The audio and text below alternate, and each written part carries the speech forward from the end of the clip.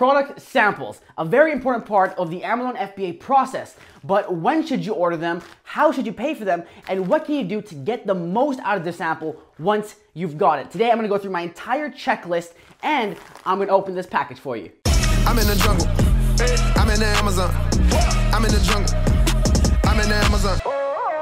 What's up, Empire Builders? JT Franco here, the no bullshit Amazon seller. This is the place to be if you want to learn how to make money on Amazon by someone that's actually doing it. So make sure to subscribe if you haven't already. And if you're already an Empire Builder, welcome back. Hopefully, your empire is going strong. So, samples, all right? Now, there's gonna be a big debate on this. Well, there is kind of a big debate on this, but I think it's silly because some people will say you don't need samples, some people will say you do need samples. And to me, uh, I was originally on the side of you don't need samples, right? Just go ahead, uh, you know, the pictures are good enough, whatever you see is good enough uh, with, you know, your chat with the manufacturer, but I've been burned enough times to know or to change my mind, right? The first three products I got, I didn't order samples, and every single time I was burned on them uh, for something that could have been easily solved by just getting a freaking sample. It would have cost me like 40, 50, 60 bucks, okay? So at this point, I always suggest go ahead and get a sample. If you don't wanna do it, you're on your own there. Uh, you know, it's your own risk tolerance. But the way I see it is, if you're gonna buy a car, you're gonna test drive it, right? Getting a product without a sample is like buying a car without test driving it. Sure, whatever you see on paper and what you see on the, the pamphlet is probably good, but if you just don't know really until you sit in it and you test it, you compare it uh, to everything else. And honestly, uh, once you're doing Amazon FBA and you're getting into it, you're probably gonna be end up spending more on products than you are gonna be on a car. I definitely have spent more on on in inventory, investing in products than I ever have on any car in my entire life. So take this seriously. All right. So when is the time that you're going to be getting samples? You're going to be getting samples once you have already started talking to suppliers. You already kind of narrowed down. You know what product you want.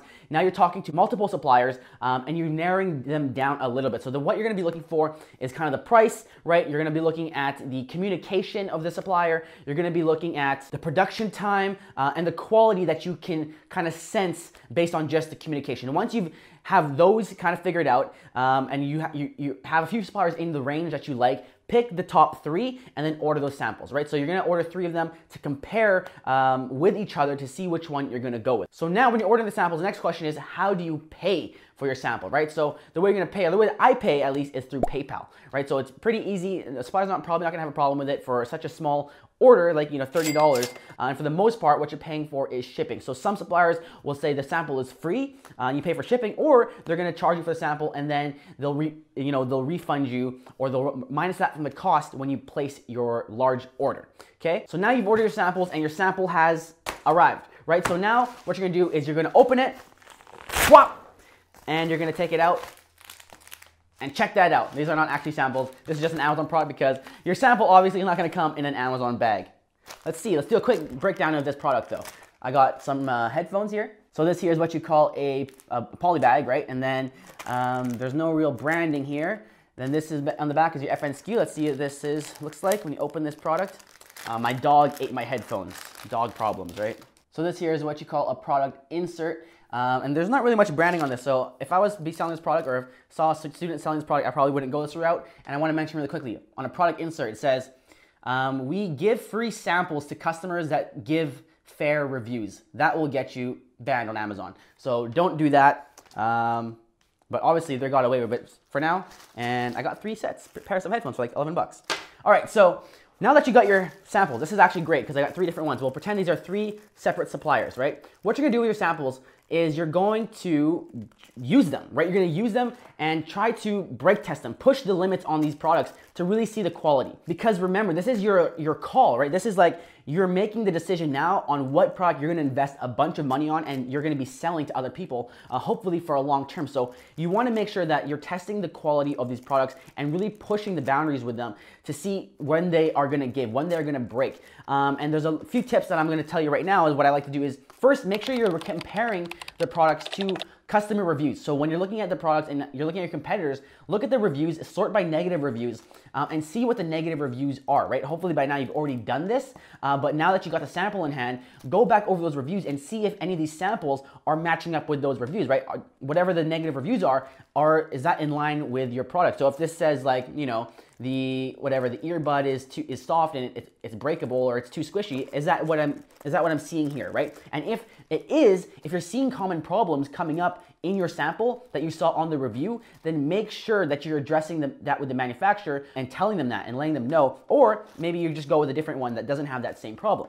Um, the next thing I, I, like to do is order the top competitor's product, like your actual uh, competitor on Amazon, order their product and then compare it with you. Because you want to make sure if you're going to be competing in the market, uh, you that you're actually selling a product that's just as good or better, hopefully better than the top guy in that market. So order his product and use it like it's just a regular, like it's one of your samples, uh, and really compare it. And then what you can do is message your manufacturer, whoever, whichever manufacturer is in the lead, is in the heading, and say, hey, this is what this product does, and this is what I, I, want it to do, and you know, compare it. Unless, of course, it's a wildly different differentiation uh, that's going to cost a lot of money.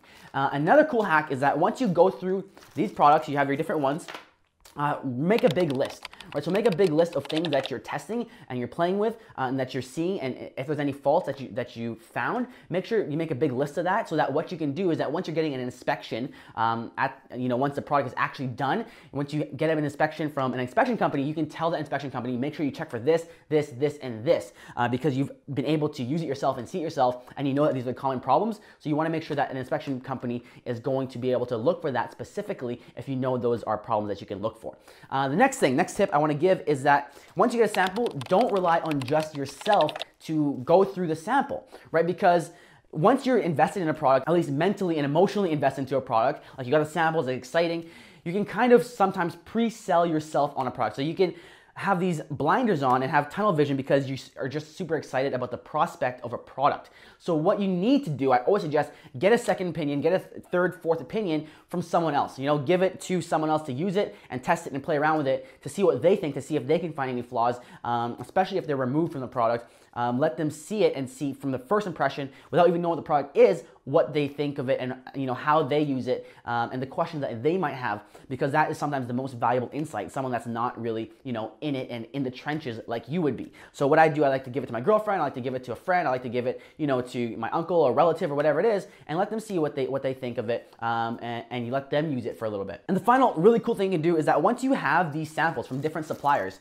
you can really leverage that against the supplier to negotiate the price. So sometimes the you know you'll get a supplier that says, "Oh, my my product is the best quality, and this is why I charge the best price." Now you actually have proof. Hey, you know what? I ordered a sample from another supplier who has equal quality to yours, or they have a better this or whatever, um, and they're offering a cheaper price. And then you can kind of hedge these suppliers against each other to get a better quote and get a better uh, price point for your product. So that's a great way to actually you know negotiate and have real you know have be holding the cards um, when it comes to negotiating price points and getting your differentiation done as you want it to be done. And that leads me to differentiation, right? So making your product different, how you gonna upgrade it, how you gonna make it better, how you gonna make it stand out.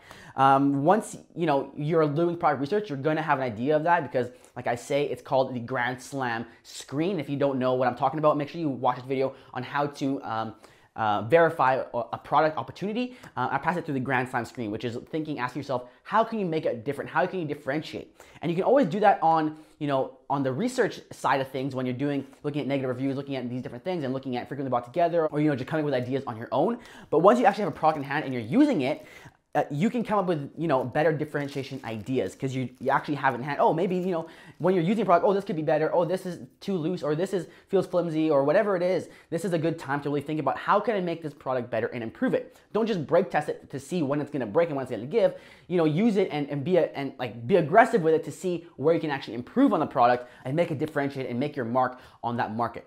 Uh, and once you do, do that, now you can talk to different suppliers and see you know how much is that going to cost uh, depending on what supplier you're talking to. So those are kind of the key metrics, the checklist that I go through when I'm evaluating these products. And I'll usually evaluate products for, you know, five to seven days and really get a good look at them. So what is the next step once this is done? This is just your first sample. Uh, and the way I do it is I order an unbranded sample, right? So just whatever the manufacturer makes. Um, and then once I go ahead and choose the manufacturer I'm gonna go with, I'm going to get another sample, a branded sample. So this is a sample that is gonna have your logo, your design, your differentiation, your box, um, your packaging, everything. And I'm gonna get that made and shipped to me as they are making and shipping the rest of my order so that I can get it. And the reason I do that is so that I can get product photography. Um, because obviously you don't wanna do product photography with just um, an unbranded sample because then it's not, it's not actually your product, it's just a generic product. So this is when you're gonna get product photography, whether you're doing that yourself at home or you're getting a local, you know, a local photographer to do it for you or you're sending it to Viral Launch, whatever it is, it's always a good idea to get a branded sample sent to yourself um, and not just wait, because some people will just wait till it gets into Amazon and then order their own product. But then at that point, you're already on Amazon, so you need pictures by that point, right? So that's when I get branded samples uh, to get it done. So I'm technically getting two samples uh, for the same product. Um, and that is basically all there is to it. Now, again, I wanna stress the importance of getting samples. Um, do you need to get a sample? Absolutely no, you don't. But really, if you're gonna be investing a bunch of money, you know, two, three, four, five thousand dollars into a product, what is sixty dollars to make sure this is the best quality? What is sixty dollars to make sure that this is actually the best one that you can go with, so that you know 100% fact you can be 100% confident that when you launch your product, you don't have any worries, right? Because Again, it's a minimal cost, it's a drop in the bucket when you look at the scope of the business that you're trying to build. Now, the only thing that is actually more important than ordering a sample for your Amazon product is to make sure that you hit the like button for me on this video uh, if you enjoyed it. And again, if you want more Amazon content, click that video right over there or click my face in the middle to subscribe. Um, I also have a free masterclass in the bottom corner and in the description. That's all I got for you today. I'm JT Franco. Hopefully by now you are an empire builder, which means you never forget your empire awaits.